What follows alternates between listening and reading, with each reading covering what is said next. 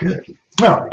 Welcome, everyone. This is Dr. Clark, the Center for Weight Loss Success. Today in Losing Weight USA, we're going to talk a little bit more about something we started yes or last week uh, estrogen dominance, estrogen deficiency. A little bit different. So we're talking, going a little deeper dive into some of the sex hormones, if you want to call them that, and both estrogen and or estradiol, as well as we'll pull in a little more progesterone. I'll probably talk a little bit about testosterone as well.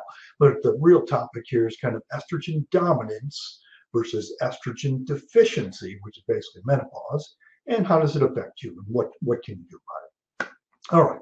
Welcome to Losing Weight USA, real-time answers to your weight loss questions, some of the latest research as well as updates little bit expert advice. Gives you direct access not only to me, but you should be receiving the health tips and recipes via the membership portal. And I encourage you, get into the membership portal. We keep adding more and more things in there. Each of these webinars will last about a half hour or so. If you have questions during the presentation, just type them into the chat box as we go along. We'll get to them at the end. If you think of things once we're all done, just give us a yell here at the Center for Weight Loss Success. The email is success at cfwls.com. Phone number 757-873-1880.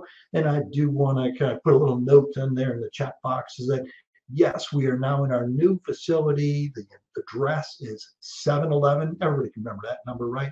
7-Eleven makes you think a little convenience store in the corner, just about every corner in the in the world. So 7-Eleven, Brick Kiln Boulevard, Newport News, Virginia. So 7-Eleven, Brick Kiln Boulevard. But uh, the store is open. We're seeing patients there. So we're doing hormone replacement there, as well as kind of we got the injections also available again. So they're kind of back and will be, uh, um, you should receive flyers on them. But if you have any questions, just give us a yell. All right, very good. So again, we are talking about estrogen dominance, estrogen deficiency, and kind of going into a little bit deeper dive here. So let me switch the slides. Very good. There we go. All right. So I'm in the, my new office as well, which looks like my really old office because I have the same desk. And so I'm moving out of my home office back into our regular office doing these webinars. All right, so with any hormone, I say this all the time, balance is key. And it's very true with estrogen as well as any of the sex hormones. Testosterone is the other major one. Balance is absolutely key there. Now, hormones, again, just a little reminder hormones just are chemical messengers. That's all they are. They help you help uh, the tissues communicate with one another. So a hormone is a chemical messenger. It's made by a certain organ, a hormone producing organ, and subsequently it's released into the bloodstream. It sends out this message to any tissue that has the receptor on it. And only the tissues with the receptors can actually respond or get the message and subsequently do something. So it's that lock and key the hormone kind of is the actually call it the key there. It has to fit into the receptor, which is the lock. And subsequently, the key fits in perfectly. The right message is transferred. And subsequently, the tissue that's received the message will do something. And the hormones are really just the main tools that our body uses to maintain homeostasis, which is basically balance. Okay. Again, hormone balance, I say it over over is very, very key. Now, as I mentioned last week, kind of sex hormones themselves, they're all derived from cholesterol. So cholesterol is one of those things we can't do without. You don't want to, you know, you don't want to have no cholesterol. Okay, sometimes may seem like your family doctor wants you to have really low cholesterol. You shouldn't because cholesterol is used in so many other things. Sex hormones are just one of them. And the sex hormones, what we refer to when I say sex hormones, is testosterone, progesterone, and estrogen.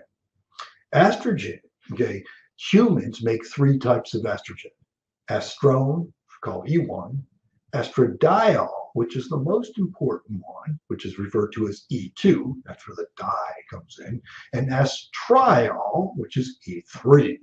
Okay, estradiol is very important in pregnancy. Estradiol is really your main hormone throughout your lifetime. estrone, you would like to keep to a relative minimum, and especially as we get older, that's both men and women like to keep estrone because estrone, as we talked about last week, typically makes it a lot easier to gain weight. Okay, so men and women share these hormones. It's not like this is a woman's hormone, this is a man's hormone. It's like, no, we share these hormones. The only real difference is the absolute and kind of as well as the relative amounts of each of them during certain periods of our life. And, and just to, you know, I'm going to take that uh, uh, kind of a thought and I'll digress just from that with even with estrogen, you know, we think of that as a woman's hormone, but men need some estrogen as well. Now, it's not like the testicles are making a whole lot of estrogen. It's like, no, actually, the estrogen is made from the, in men, you know, the estrogen comes from the breakdown of testosterone and just kind of the take that account for women then actually for women if we could measure all the testosterone you made throughout your lifetime and compare it to all the estrogen you made throughout your lifetime women actually make more testosterone than they do estrogen it's just that a lot of the testosterone that's made is actually then converted to estradiol and estradiol is kind of the, really the primary female hormone then Okay, so typically in women, kind of the adrenal glands and the ovaries, mainly the ovaries, both produce estrogen. And estrogen has many, many, fun, over 400 different functions on all kinds of different tissues. So it's not like, oh, it only does, you know, put women's go through a cycle. For it, that's estrogen. Yes, it is, but there are 400 different functions, over 400 different functions, and it occurs in many of the tissues. And the receptors, okay, the receptors are found throughout your body. So it's not only in the you know the reproductive organs or the breast tissue or just the female organs. It's like now the, the receptors are throughout the body and the receptors wouldn't be there throughout the body if it wasn't important. Okay? so there's many receptors in the brain. There is some breast tissue all along the blood vessels and of course then the reproductive organs as well. And estrogens themselves are critical for sexual maturation. So as a child goes through adolescence into maturity, into adulthood, that's the sex hormones. Okay, that and estrogen is a very important one for that. So kind of sexual maturation through puberty and then into the reproductive cycle. And again, adult women have three primary estrogens. Estradiol is the most important one, but then there's also estrone and estriol, which and not a whole lot to talk about there for the other ones. So now again, I labeled this kind of talk as kind of estrogen dominance versus estrogen deficiency. What does that actually mean? When I talked about hormone balance being key, what we're really saying then, and when I say estrogen dominance, is that well, there may actually be some imbalance in that there's more estrogen in relation to the other hormones. Now, it doesn't necessarily have to mean it's too much estrogen. It's just in relation to some of the other hormones then. And when we get to estrogen deficiency, then it's also isn't like there's zero, but the balance is off, it's, is thrown off again. And then we're talking about much lower levels of estrogen. and you have to think about that throughout our lifetime, this is true men and women, hormones continue to change from the time kind of we're you know go through adolescence to then you know as we get into old age then okay? So the hormones continue to change and they're different amounts at different times. Now just from a, the generality hormone production and estrogen specifically estrogen estradiol specifically usually peaks at around age 25 But the estradiol production then remains fairly stable till about around menopause. And menopause basically means the ovaries quit working, then the estradiol levels go way down. So hormone production, especially estrogen, peaks about age 25, stays fairly stable, okay, till menopause, which the average age is 51, 52, okay, and then drops way off. So estrogen dominance, what does that mean? Well, what it means is that typically for women going through cycles. The reason you go through cycles is because the day to day amounts of estrogen and progesterone change. And subsequently, then it's that balance between the estrogen and progesterone that causes you to have a cycle. That, or if you want, when the hormones levels change, now you'll have a cycle. Okay, so what's the issue then? The issue is that progesterone tends to slowly decrease from age 25. Now, I mentioned that, gee, estrogen peaks around age 25 and it stays pretty stable. Progesterone tends to start dropping off then as women age. And subsequently, then as the progesterone drops off, now in relation, you have estrogen dominance there. So the estrogen is higher in relation to that progesterone amount.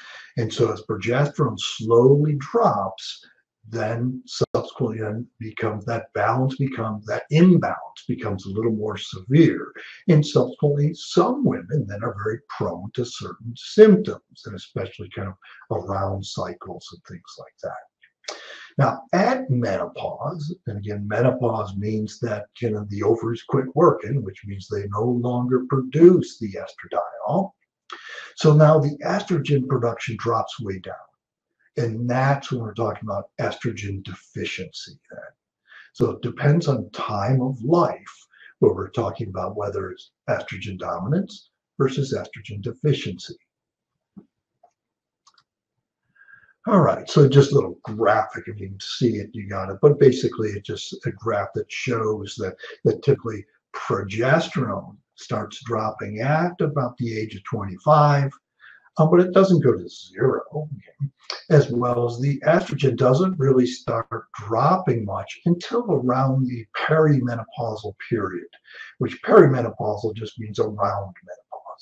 In the average age again for menopause, 51, somewhere right around there. But uh, women sometimes will develop sim- some symptoms of perimenopausal type things, even up to 10 years ahead of time sometimes then you know, lasting for a long time after they're through menopause as well.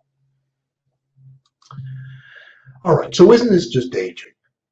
Well, yes, it is just aging, but again, kind of that poor balance tends to make a number of kind of medical problems, tends to make them a little worse or more symptomatic. It can, that estrogen dominance tends to uh, disturb a little bit of thyroid function. And part of that is because thyroid binding proteins, which means that these proteins actually bind the thyroid hormone, it'll make that somewhat worse. So if the thyroid binding proteins have bound some of the thyroid hormone, it can't work as well. So it does throw off some other things too. It also tends to worsen insulin resistance.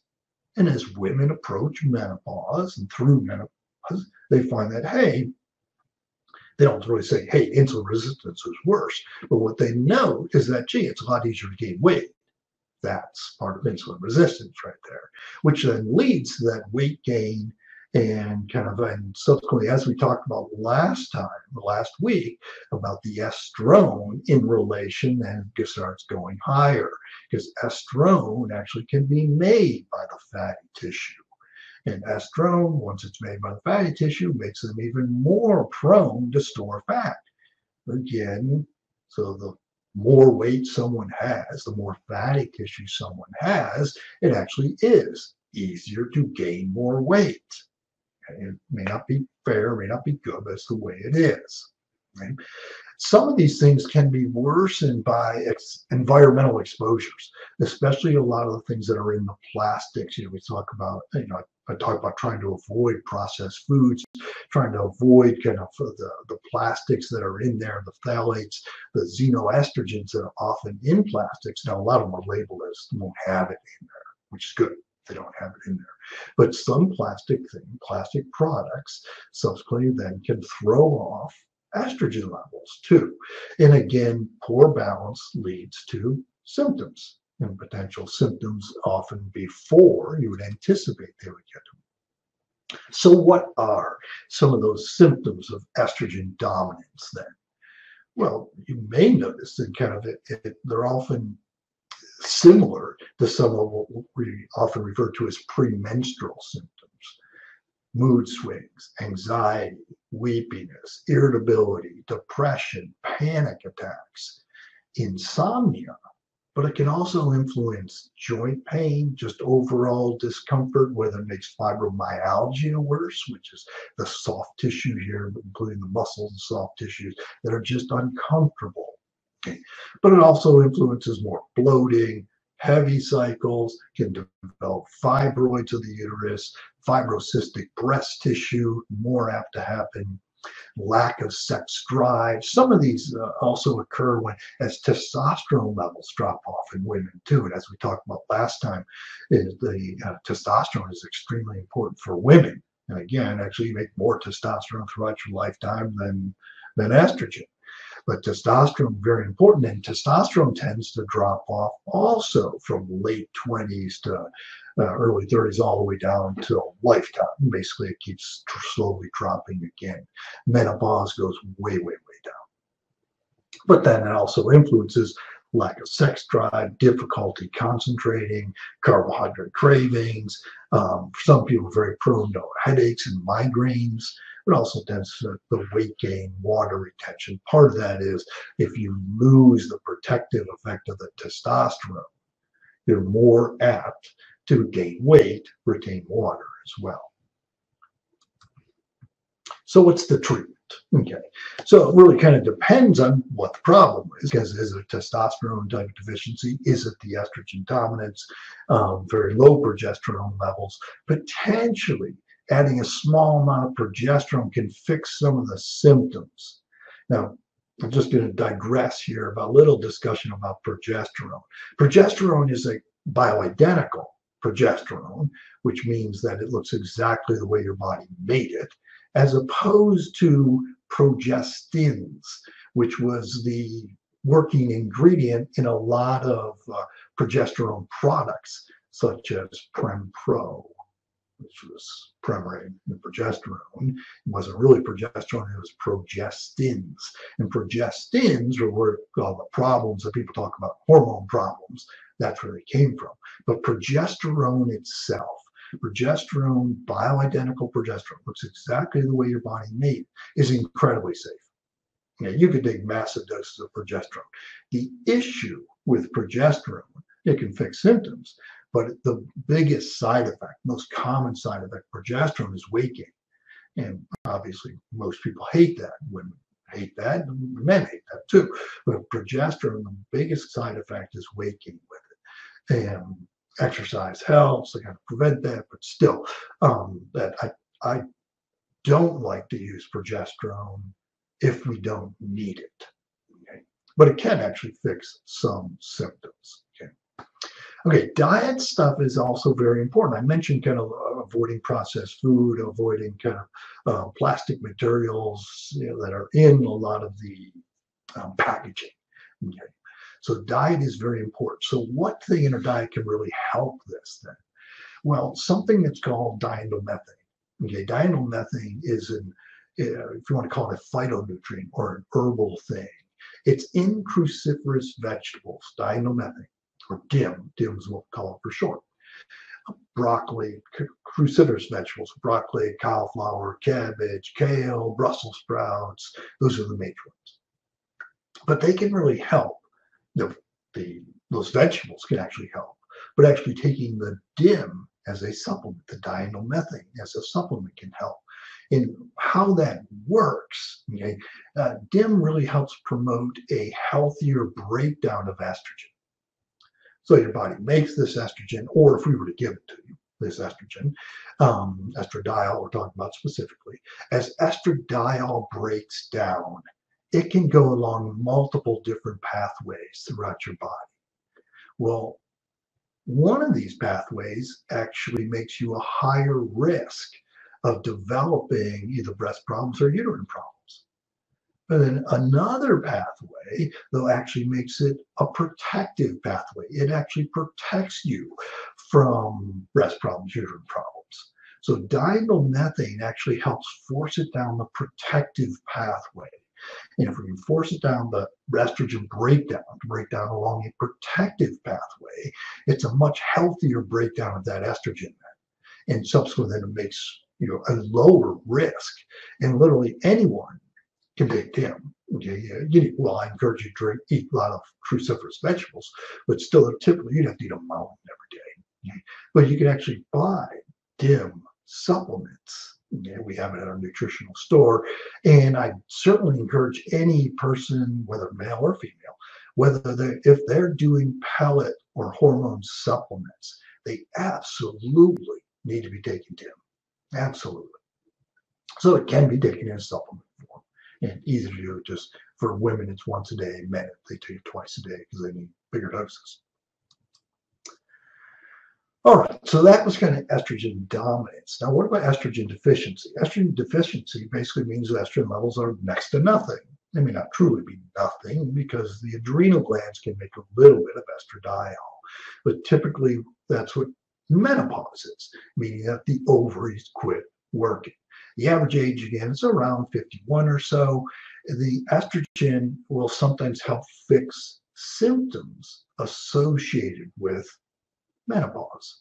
The most common symptoms with menopause that women often notice are the night sweats, hot flashes, and also vaginal dryness. Those three things right there hot flashes, night sweats, vaginal dryness that is what estrogen supplements. You know, if we're uh, for people being treated with estrogen, that's what it treats. Okay. But it can also help with preventing painful intercourse, just from the dryness, irritability. Um, but estrogen can potentially help with depression, memory problems, as well as kind of decrease energy. Now, a lot of the other menopausal symptoms brain fog, body aches and pains, poor sleep, low energy, low libido, those are often low testosterone problems. And so I've probably mentioned them in the past that often when we talk about hormone replacement, we're usually talking about, hey, replacing testosterone, which fixes so many things. Testosterone is such a safe hormone but it fixes so many other things. And then adding a little bit of estrogen.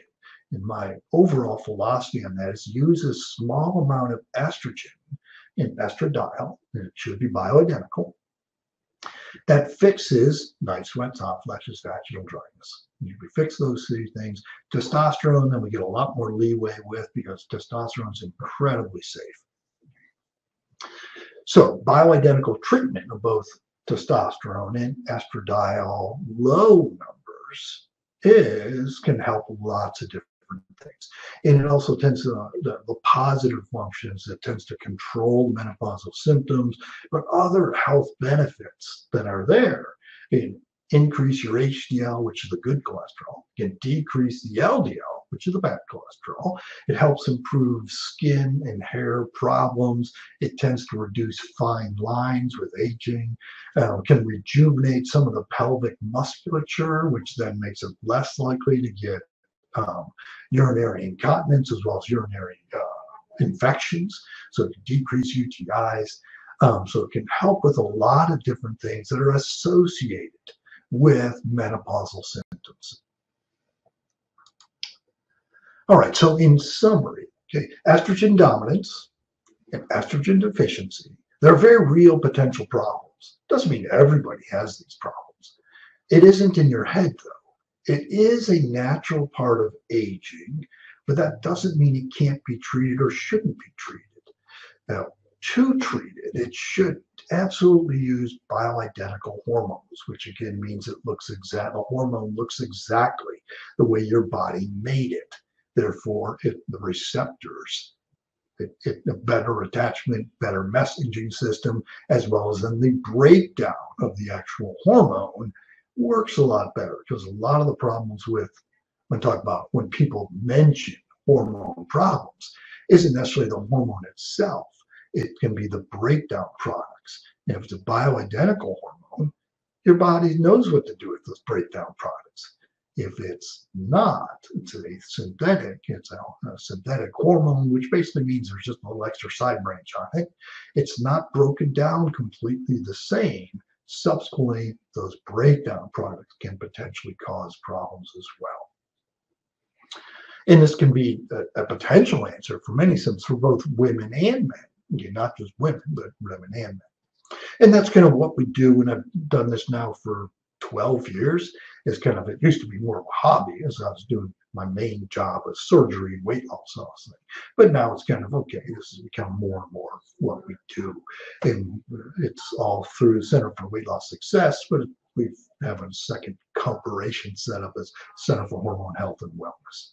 You can get more information by going to www.centerforhormonehealthandwellness.com or just give us a call here. The, the phone number, they all bring the same place. But the, the phone number for the hormone side is 757 223 0940. But you just hit our regular number as well. You'll get the same place. All right. Questions. Don't see any questions sitting out there, but it is a, a very interesting topic. And it's a topic that affects, you know, all women at some point. Okay, all women eventually go through menopause.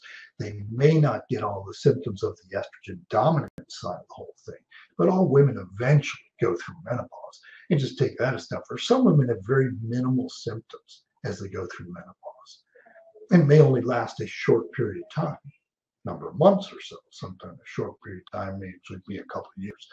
Other women, though, have the symptoms literally indefinitely. And it can be years and years and years. And it's a very treatable thing. And so subsequently to, to consider treatment is like, gee, you, it can really help fix a lot of symptoms. All right. Again, if you think of questions, don't hesitate to give us a yell here at the Center for Weight Loss Success.